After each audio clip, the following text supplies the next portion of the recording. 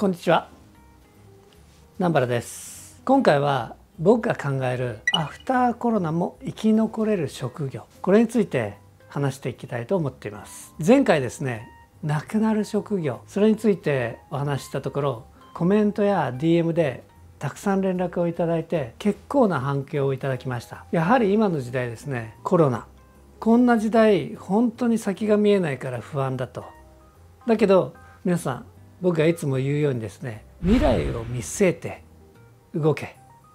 そう未来を見据えて動きたいけど何をすべきかわからない。まあこういった人にですね少なくとも今の自分の仕事や職業が本当に大丈夫かと考えたり考えさせられたりそういった機会も増えたんではないでしょうか。そしてこのコロナの世の中になかなか絶対というものはないんではないかと。こういったことを再認識している人も多いんじゃないでしょうか。コロナなかなか予想できなかった。でもなってからこれを予想する。こういったことをやってですね時代の動きの速い現代においても自分たちが予測する知識を得る。これがですねものすごく大きく人生に影響を与えることがあります。なので今回の動画職業に着目するのは無論ですが南原さんの考え方を転用すればこんな職業も生き残るではないかと。まあこういった未来に対するですね前向きな姿勢になるきっかけになればと思いちょっとお話しさせていただきます。大前提としてなくならない職業の特徴として僕はまず一つ機械には代替ができない。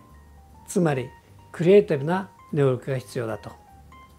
それから社会的にニーズが常にあるこの2点に関して今日は非常に重要だと思って少しお話をさせていただきます。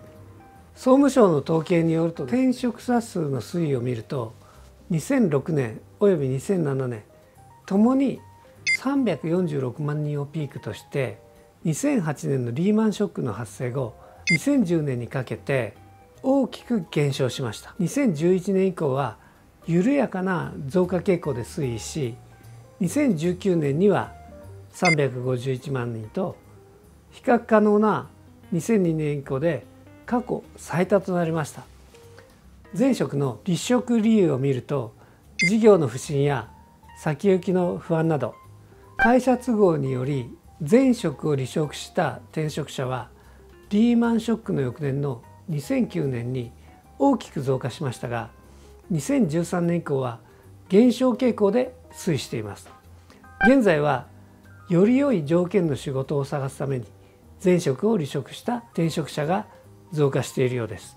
そんな中でどんな仕事がこれから面白いだろうかつまり伸びていくだろうか。例えばですねドローンを使った仕事。これ必ず伸びます。僕が最近撮ったドローンの撮影。車のドライブインプレッションです。これってドローンを使うとめちゃめちゃかっこいい動画が得られるんですね。逆を言うとですね先日ヘリコプターの会社が売りに出ていました。で僕にその話が来たんですが僕はヘリコプターの免許も持っていますしヘリコプターを操縦するのが大好きですしでも買いません。今までヘリで空撮してたところドローンでできるに決まってるじゃないですか。つまりヘリの需要が落ち込んだ分ドローンの需要が上がってくる。ドローンの仕事増えてきます。もうちょっと進んでいけばウーバーイーツもですね近い将来ドローンで配達できるように必ずなると思います。こんなことができる時代が必ず来ます。なのでドローンはぜひ注目してみてください。次にですね今までは IC チップというととても大きな工場で作っていると。ところが最近はミニマルファブ。あまり聞いたことのない言葉だと思うんですがものすごい小さな規模で半導体の製造工場を形成し少量の半導体チップを低コストかつ短期間で製造可能にすることを目的とした半導体システムの工場こういった工場がもう現にできてきているんですね。そうするとそういったチップを作る設計者ものすごく増えてくると思います。今まで数千億円を要する製造設備投資額をですねなんと1,000分の1に抑えてそんな工場ができている。これも直近に必ずできてきます。なのでそういった技術改革とか考え方の改革によって今まで大規模でしかできなかったものがちっちゃな規模でできる。そうすることによって少量多品質いろんな面白いアイデアのチップこういったものが商品化されてくる。まあそういったものをですね設計する人たち必ずこれから社会から要求されるはずです。それからですね遺伝子工学。今回のコロナワクチン。これは遺伝子の改良なんですね。コロナ自体も遺伝子改良で作られたかもしれません。遺伝子改良とかこれからますます重要になってきます。アメリカのトウモロコシや大豆ほとんどが遺伝子改良で作られています。ひょっとして人間の遺伝子や動物の遺伝子こういったものも改良して何か違った技術ができるかもしれません。だから遺伝子改良これも重要なキーワードです。次にですね人工の海藻とか藻とか植物プランクトンという呼び方の方が正しいかもしれませんが生産とか研究者とか植物プランクトンの工場そういったものを研究している会社。食物連鎖の出発点である植物プランクトンこういったものはですね二酸化炭素を酸素に変えているんですね。つまり光合成をして地球の環境に役立っています。今カーボンオフセットと呼ばれているこの時代にどんどんどんどん炭酸ガスが依然として作られている。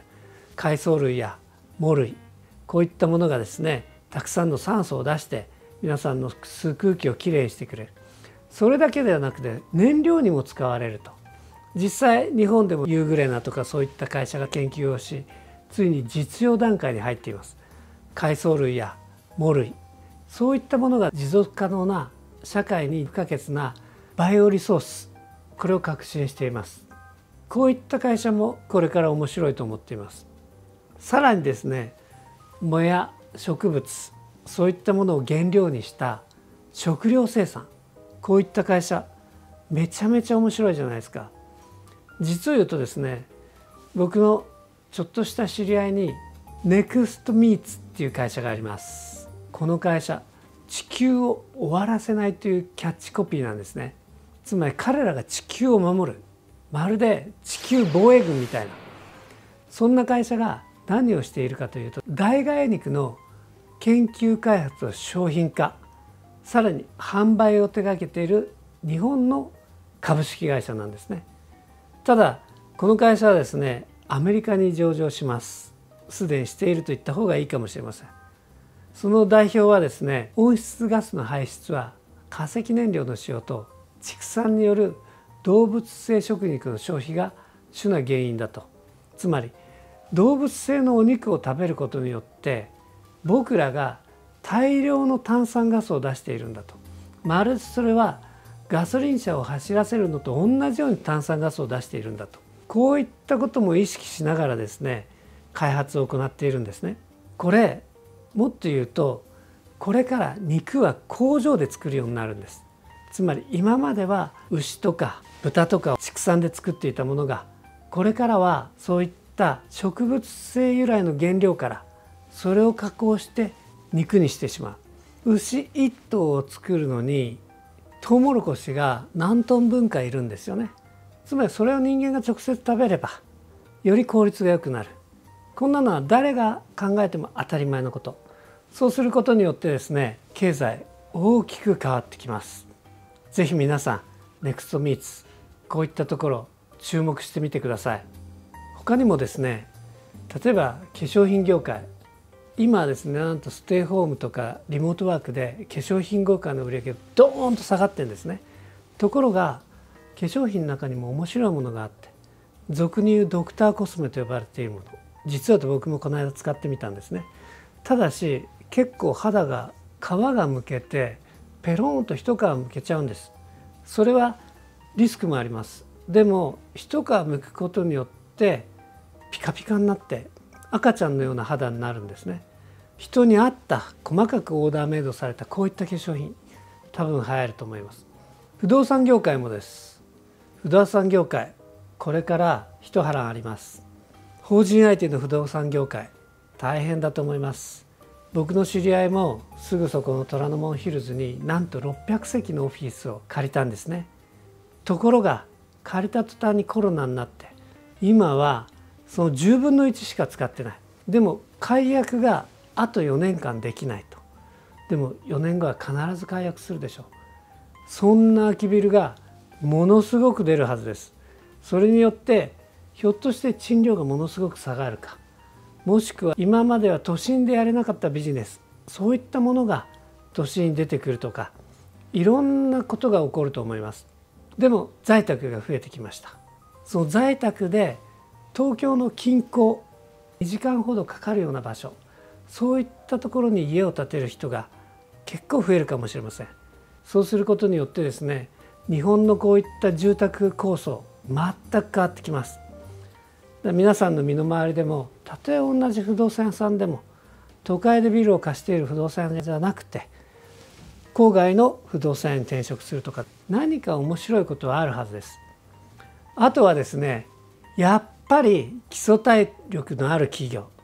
つまりすでに業界で大手になっていて勝ち組として残っていく企業こういったところはこの時だからこそ有望な人材を採用するとそういった逆張りの発想で採用をかけている企業もあるんですね。まあいろんな観点からなくならない職業だとか勝ち組の会社とかこういったところを見ることができますが今コロナですごいそれが見やすくなっています。もう単純に新規採用を強化している会社。こういったところはですねかなり高い確率で勝ち組に残っていくと思うんですね。逆にですねあなたの会社が全く採用しない。もしくはどんどんリストラしていっている。そうしたらその会社に見切りをつけて採用をかけている会社に転職する絶好のチャンスかもしれません。以前にですね僕が出した100万円の増やし方でも話した通り将来に投資をするつまり自分のスキルを磨くことがお金を増す鍵になりますもし転職とかを考えているんでしたら IT やエンジニアの学校に行くのも一つの手です。ぜひ皆さん今日の話を聞いていただいてひょっとしてその一歩が皆さんの人生を大きく変えるやもしれません。ぜひよく考えてみてください。今日もご視聴ありがとうございました。